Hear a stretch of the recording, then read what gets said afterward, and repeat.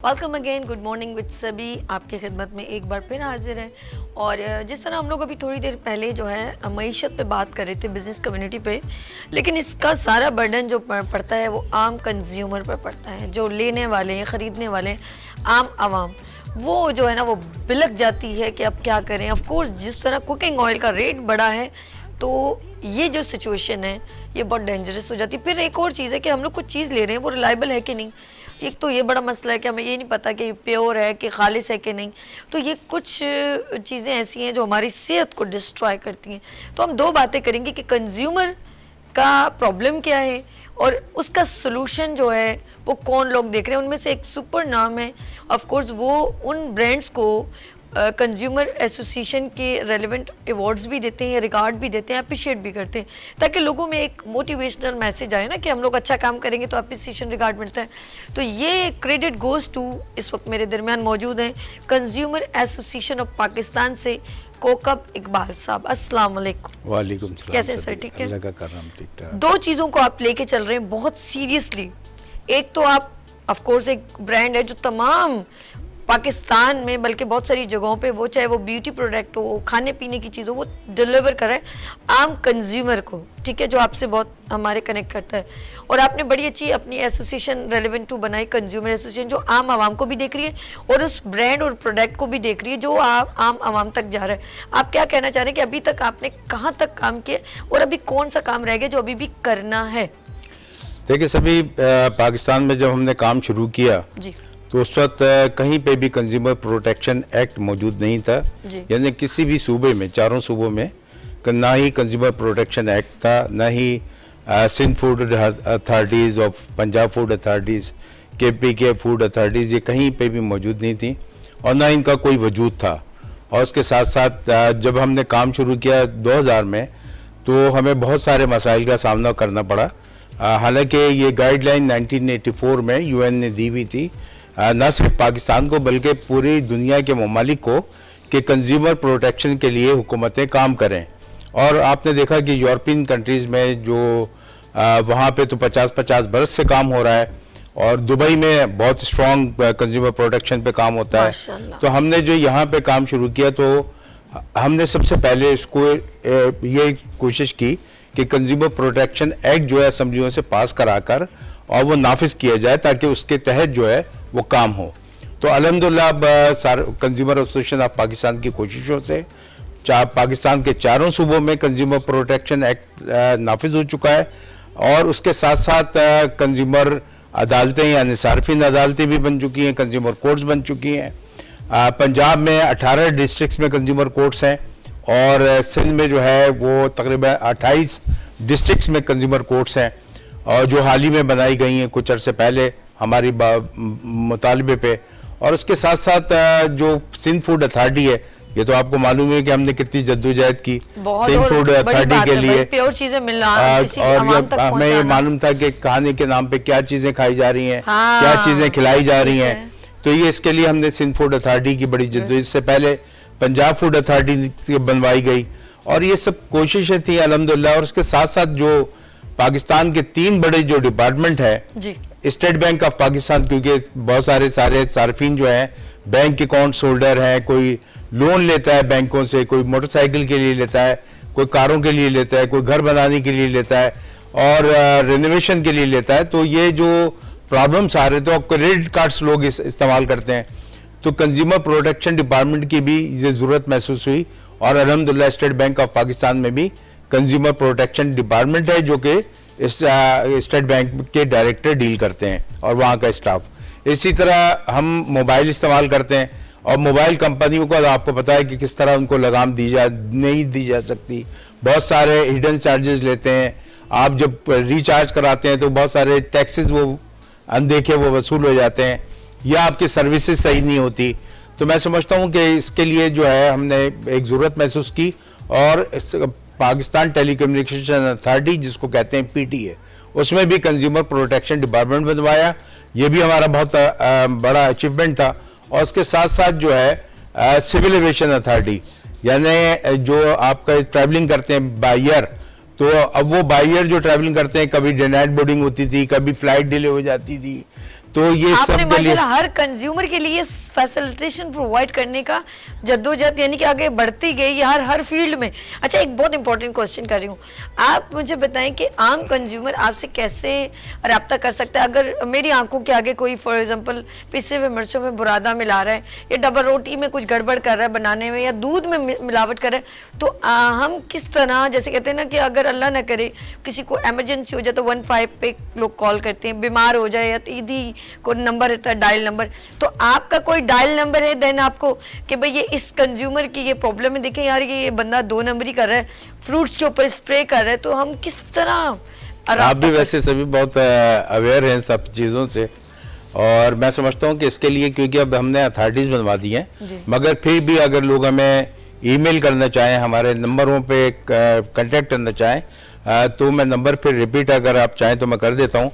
Three two six three nine seven three zero पे वो contact कर सकते हैं ईमेल कर सकते हैं consumers P K C U N S U M E R S P K at the rate G mail dot com और वो उसको अगर कई किसी भी जैसे मुतल अथॉरिटीज हैं अगर ये फ़ूड से मुतक है तो सिंध फ़ूड अथॉरिटी को हम वो करते हैं। और वहाँ पे भी मैं आपको बताऊँ कि जैसे आपने देखा कि क्विक एक्शन अगर डीजी को मैं व्हाट्सएप भी करता हूँ कि ये कंप्लेन हमारे पास आई है तो विद इन फिफ्टीन मिनट्स में हमने देखा कि कार्रवाई हुई है।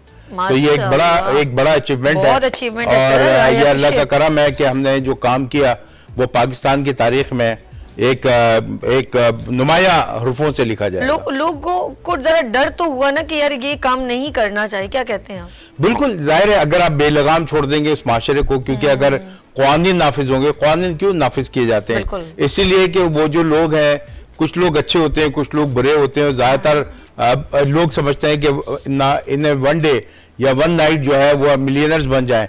तो उसके लिए वो मिलावट भी कर रहे होते हैं इसके लिए वो गली सड़ी अशिया भी बेच रहे होते हैं। इसीलिए मैं समझता हूँ कि देखिए ना कि ये जो यहाँ सिलसिला बन गया है कि ये नहीं देखते कि वही जो गैर म्यारी दवाएँ बेचेंगे एक्सपायरी दवाएँ बेचेंगे तो उसके लिए जो है उनके बच्चे भी वो इस्तेमाल कर सकते अच्छा, हैं। ड्रिंक्स में आ जाए सॉफ्ट ड्रिंक में मैं खुद देख रही हूँ वीडियो आपको पता है सोशल मीडिया कितना फेसबुक पे कि वो मज़ाक से कह रहे हैं लो ये पीते हैं आप ये से कान मैं नाम नहीं लेना चाहती कि प्रोडक्ट का।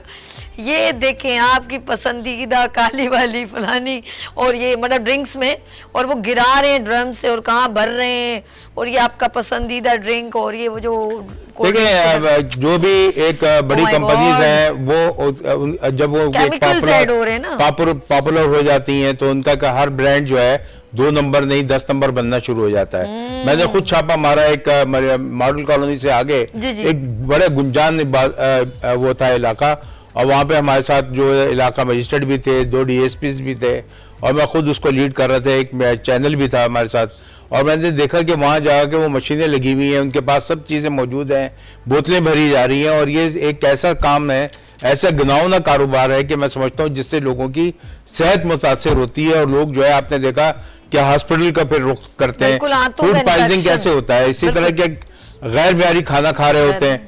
ये किसी की मजाल नहीं है कि अमेरिका में मैंने देखा वहाँ पे विज़िट जब मैं गया लास्ट ईयर तो देखा कि जनाब रात में अगर वो टाइम है एक तो रेस्टोरेंट के बंद होने का तो बिल्कुल जो रेस्टोरेंट बंद हो जाता है टाइम पे तो वो जो बच्चा कुचा खाना होता है वो जो आखिरी ग्राहक होते हैं हम्म, हम्म, उनमें वो कहते हैं कि सर ये हमारी तरफ़ से कम्प्लीमेंट्री ले जाए। अरे सर वो तो कुछ है वो जो होटल्स में जो खाना बनता है मैं नाजीन आपको बताना चाहूँगी जो होटल्स में खाना बनता है वो सुबह में कहीं बनता है और अगर वो लेट नाइट भी खाना चल रहा होता है ना होटल तो वो दिन का ही आलू पालक दिन का ही चिकन वो ही गर्म कर करके आपको पूरी आवाम को वो रात तक खाना दे रहे होते नहीं दिन में तो चले बन गया और शाम तक चल गया। मगर एक बात मैं आपको बताऊँ यहाँ तो यह हालत तो थी यहाँ तो यह हालत थी कि चार चार दिन का चार चार दिन का वो डीप फ्रीजर बड़े बड़े होते हैं उसमें वो डाल देते हैं।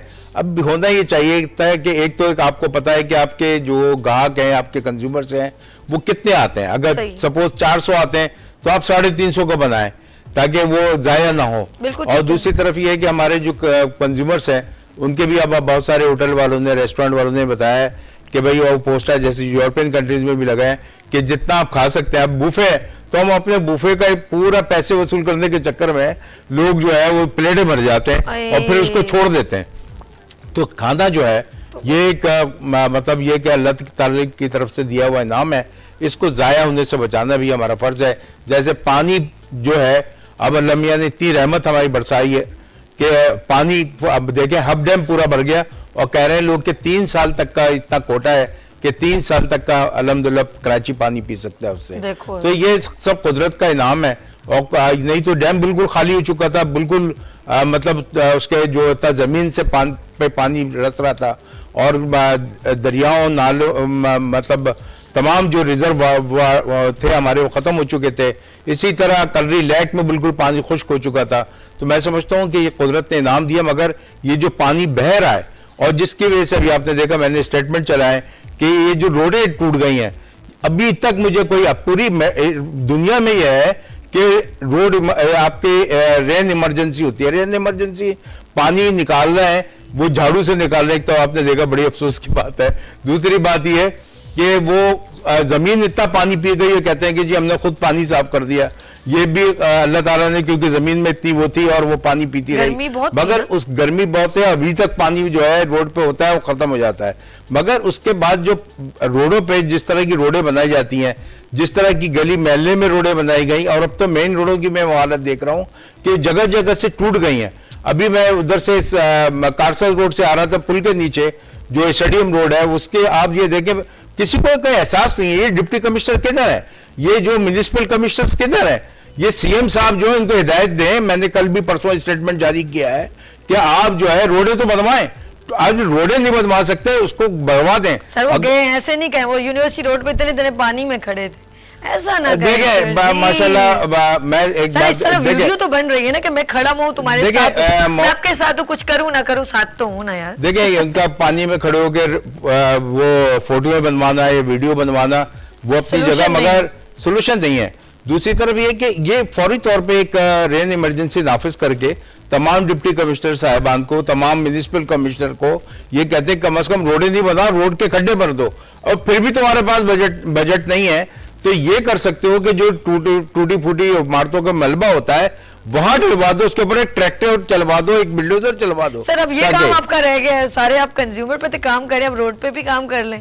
देखिए हमारा तो काम हर एक से रिलेटेड है चाहे वो रोड है चाहे वो ब्रिजेज हैं चाहे वो कोई भी हो चाहे वो कुछ चीज़ बेच रहा हो या सर्विसेज़ दे रहा हो या पानी बिजली दे रहा हो मुहैया कर रहा हो या यानी के इलेक्ट्रिक हो या वापडा हो या वो जो हमारा आ, पानी का, का वाटर एंड सेवरेज बोर्ड हो। ये सारे महकमे जो है वो कंज्यूमर से रिलेटेड है।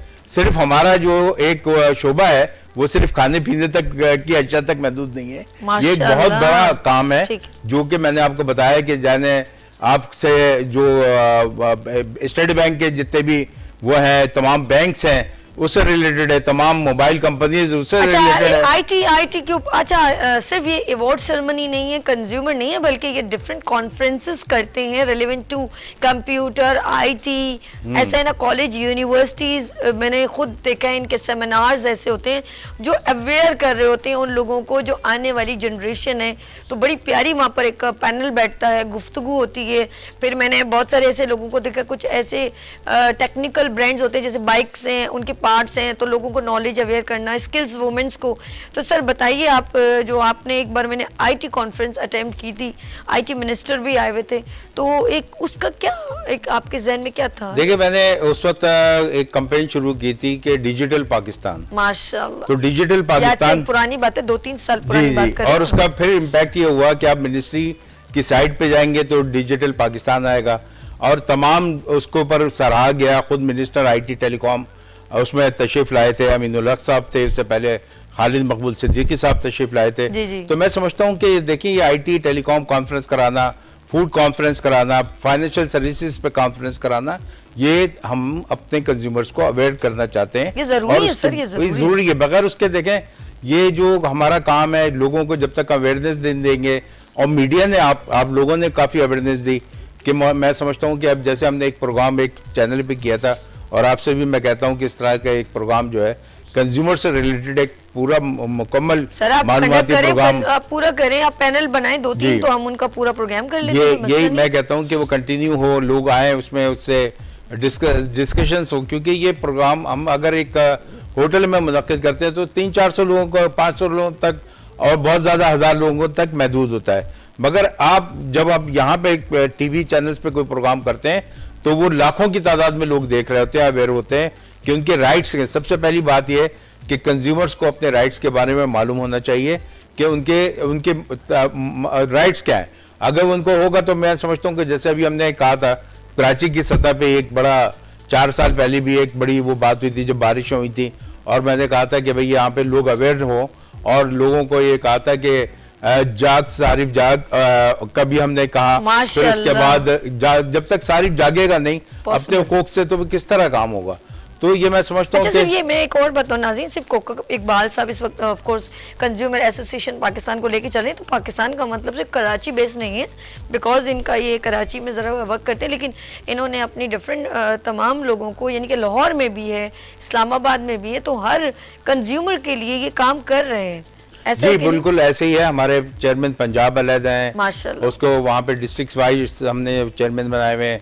इसी तरह कराची में कराची डिवीज़न के चेयरमैन है हैदराबाद के चेयरमैन अलहदा हैं। तो मुख्तलिफ़ लोग जो हमारे साथ मकतबा फिगर से ताल्लुक़ रखने वाले लोग हमारे साथ काम करते हैं। और उसमें से हम सब हमारे पास लायर्स भी हैं ताकि अगर हम किसी कंपनीज़ को नोटिस भी भेजते हैं कि आपका ये काम गलत है फिर उसको हम कंज्यूमर कोर्ट्स में भी ले आते हैं। अब लोगों को पंजाब में बहुत ज़्यादा अवेयर हो गए तकरीबन एक कोर्ट का मैं देख रहा था और कि वहाँ पे उन्होंने एक डॉक्यूमेंट्री मेरे पास किसी ने भेजी कि उसमें सात हज़ार के करीब केसेस जो हैं वो चल रहे हैं और उसका एक आपको बताऊँ कि तीस दिन के अंदर वो फैसला हो जाता है। दूसरी कोर्टों की तरह नहीं है, इसीलिए कंज्यूमर कोर्ट्स बनाए गए हैं ताकि सार्फिन को जो है जल्द रिलीफ हासिल हो सके।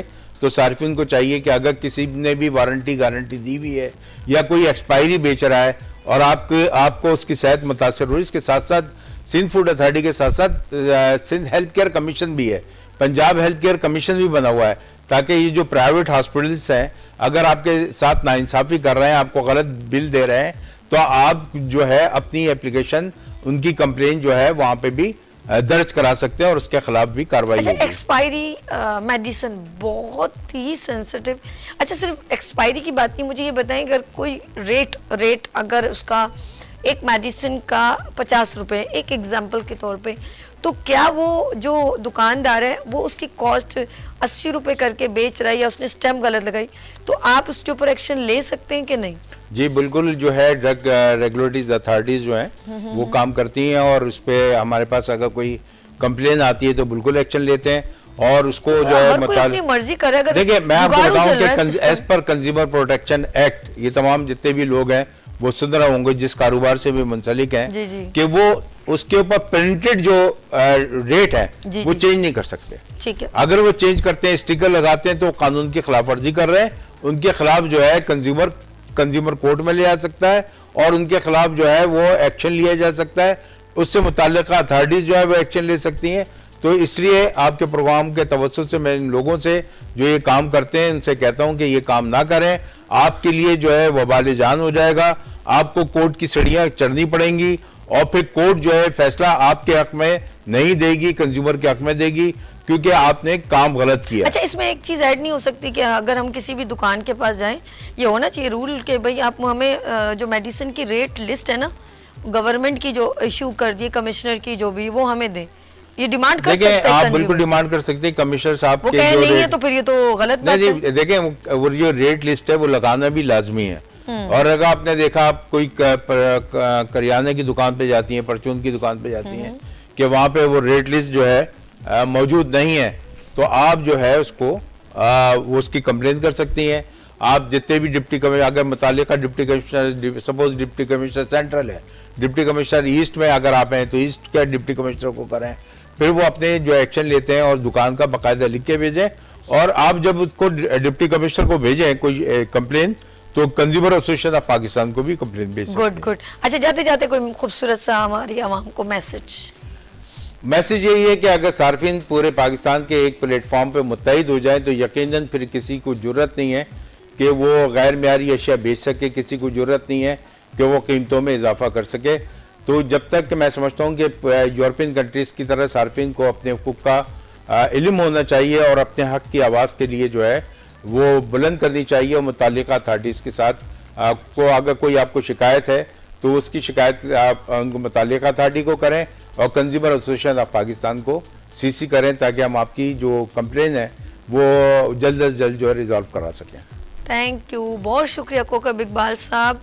आपने बहुत खूबसूरत गुफ्तु की, लेकिन एक सेशन और करेंगे और बैठ बैठ के डिस्कस करते हैं कि हम और आम आवाम के लिए कंज्यूमर के लिए हम क्या बेनिफिट बिहाफ ऑफ़ व्यू लेकर आ सकते हैं और इनको बता सकते हैं। Thank you so much ji Nazeen मेरे पास भी जैसे इनकी ऑफ़ कोर्स बड़ी प्यारी गुफ्तु रही और मेरे पास एक छोटा सा सोल्यूशन ये कि अगर कमिश्नर कराची, जिस तरह हम लोगों ने देखा है, जब कोई इलेक्शन आते हैं तो एक कैंपेन चलती है। खूब, ये वोट दे दे वोट। तो मैं चाहती हूँ, आम आवाम के लिए भी, जब पोलियो का आता है, वो भी कैंपेन चलती है। तो आप, जब कोई रेट चाहे दाल कुकिंग ऑयल दूध तो एक लिस्ट रेट अपने डिफरेंट चैनल्स पे शेयर करें और जितने भी दुकानदार हैं, उनको स्ट्रिक्टली कहा जाए कि please show your rate list because every one knowledgeable होना चाहिए एक आम कंज्यूमर को। वो सारी धड़ी का एक मजदूर है, उसके पास एक लिमिटेड अमाउंट है तो क्यों भाई आप दस रुपये बढ़ा के दें? क्यों आप बीस रुपये बढ़ा के दें? क्यों आप क्योंकि हमें अगर हक हलाल खाना है तो हक हलाल कमाना भी है। तो आम आवाम को तकलीफ़ देंगे कि कुछ अच्छी बात नहीं है तो मैं तो चाहती हूँ, मैं मेरे जैसी आम बोले, भाई लाइन लिस्ट कहाँ लगाई क्यों नहीं है आपने? तो ये एक ख़ास बताएँ कि हर दुकान पे एक बोर्ड लगाना होना चाहिए कि यहाँ पर एक लिस्ट हो, जिससे आम आवाम जो ये महँगाई के जो एक्स्ट्रा जो लोग अपनी मर्ज़ी करें, उससे बच जाए सेव हो जाए। लेट्स यहाँ पर मैं चाहूँगी इजाज़त और हमेशा कहती हूँ कि कल फिर मिलेंगे उबरते सूरज की तरह। अपना ख्याल रखेगा मुझे दो में याद रखेगा अल्लाह हाफ़